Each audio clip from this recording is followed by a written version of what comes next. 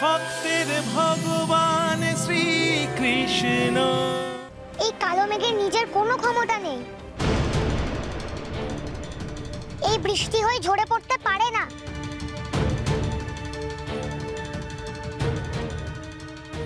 যতক্ষণ না সে গিরি গোবর্ধনের গায়ে ধাক্কা খায়। আমার মনে হচ্ছে বাবা, এই মেঘ ভালোর জন্য আসছে না।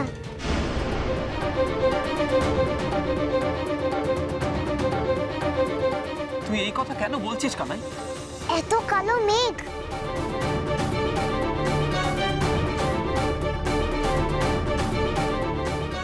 মেঘ তো কালোই হয় গোপাল। তবু তবু কেন জানি না আমার মনে হচ্ছে যে কিরে কানাই?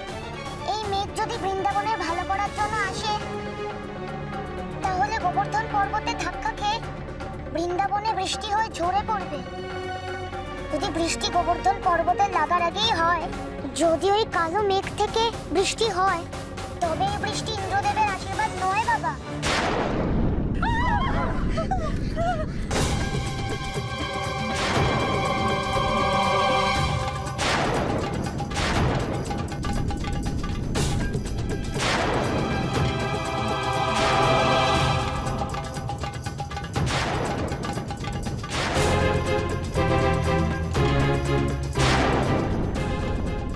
জোরে বাজ পড়ল।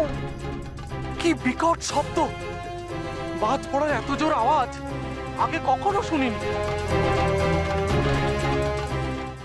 তবে কি তবে কি আমাদের কানাই ঠিক কথা বলছে? এ কি ইন্দ্রদেবের অভিশাপ? আপনাদের কি মনে হচ্ছে? কি মনে হয় আপনাদের? এ কি ইন্দ্রদেবের অভিশাপ? বুঝতে পারছি না কিছু। কৃষ্ণই হয়তো বলতে পারবে সব। আপনারাই তো বলেছিলেন যে আমরা নাকি ইন্দ্রদেবের রোষে পড়তে পারি। তাহলে কি এ সেই রোষেরই প্রকাশ? না না না তা কেন হবে? ইন্দ্রদেবের রোষ আপনাদের উপর পড়লে তো আমার উপরও পড়বে। কিন্তু আমি তো তার ভক্ত। কায় মনোবাক্যে আমি তার পুজো করেছি। আচ্ছা আপনাদের উপর যে অভিশাপ সেটা আমার উপর কেন পড়বে? না এটা হতে পারে না, আমি তো ইন্দ্রদেবের ভক্ত। এত কালো মেঘ, এই যদি বৃন্দাবনের ওপরে বৃষ্টি হয়ে ঝরে পড়ে, তাহলে তো বৃন্দাবন ভেসে যাবে।